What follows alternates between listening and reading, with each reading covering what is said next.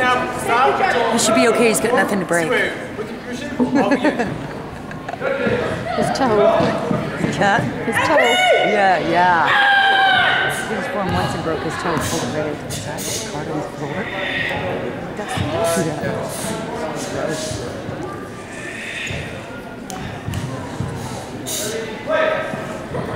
All right, Dustin.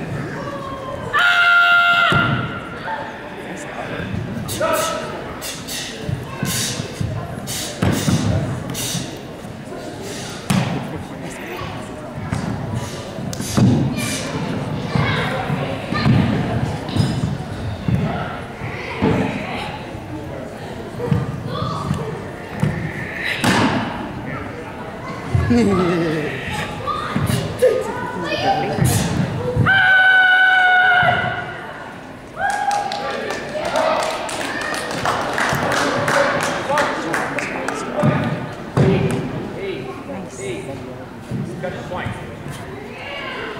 zero.